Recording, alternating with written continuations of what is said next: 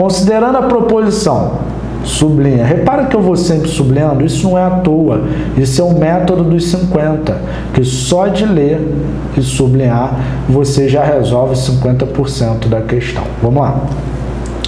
Se Paulo não foi ao banco, então ele está sem dinheiro. Mas Renato, ele não colocou então ali. Galera, uma vez que o C apareceu na frente, o então está ali.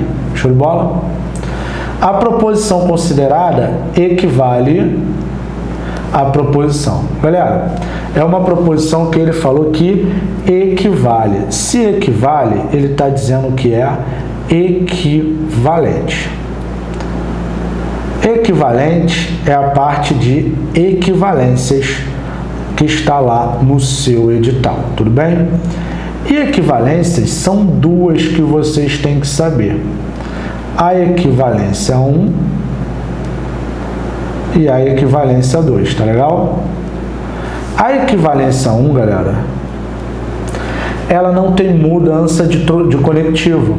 A única coisa que você faz é nega tudo e inverte. É a única coisa que você se preocupa, tá? A equivalência 2 tem troca de conectivo. Vai para o ou e você usa o Neymar. O que, que é isso? Nega da frente, muda para o ou e mantém a de trás. É isso. Tudo bem? Mas, Renato, qual das duas eu vou saber? Galera, no CESP, certo e errado, é muito mais simples. Por quê? Ó, aqui tem um C, então. Ele falou equivale, você já sabe que é um problema de equivalência. Ah, vou usar um ou dois. Olha para o que ele afirmou. Se Paulo não está sem dinheiro, então, opa, só pode ser equivalência a 1. Acabou. Por que só pode ser equivalência a 1?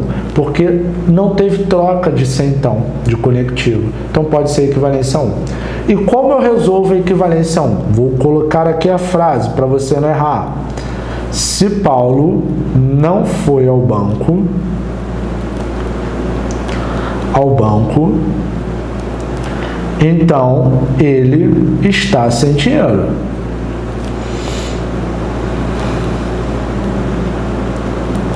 Então ele está sem dinheiro. Tudo bem? E aí, como é que eu vou fazer na equivalência 1? Eu vou negar tudo e inverter, ó. Ele está sem dinheiro.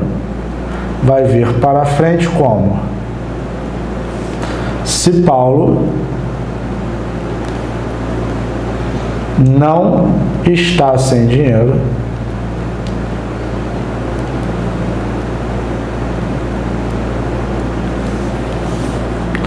então, vou deixar só a tela aqui, então, nega isso daqui, opa, calma aí, vou botar de vermelho também, então, neguei tudo invertido, ele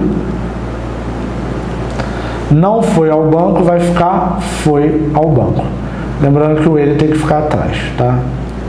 Então, como é que fica o correto? Se Paulo não está sem dinheiro, então ele foi ao banco. Vamos ver se está escrito isso.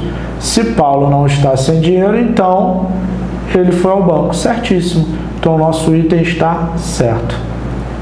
Eu sempre falo que no CESP é muito mais simples para você ver se é equivalência 1 ou 2. Por quê? Porque está ali, está na tua cara, você já vê. Show de bola? Então deixa isso muito bem anotado para você não errar. Não erra isso, porque é muito importante que você não erre.